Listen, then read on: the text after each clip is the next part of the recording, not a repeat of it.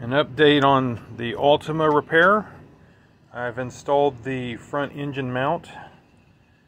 The old engine mount here was bad as you can see.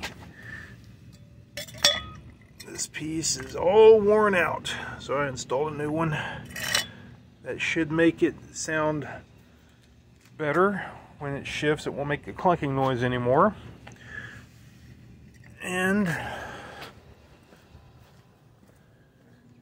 the other thing to update on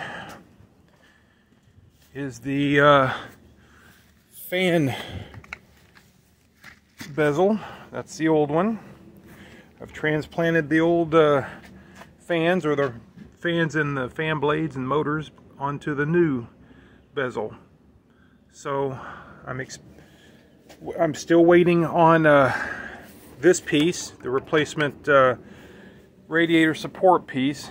Supposed to be in this week. When that comes in, I'll start putting the car back together. But that's where we are right now.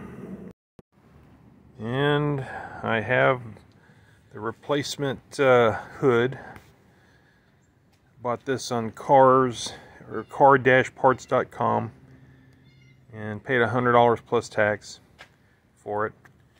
Looks to be in good physical shape. The paint's not the greatest, but it's good until we either repaint it or the car dies.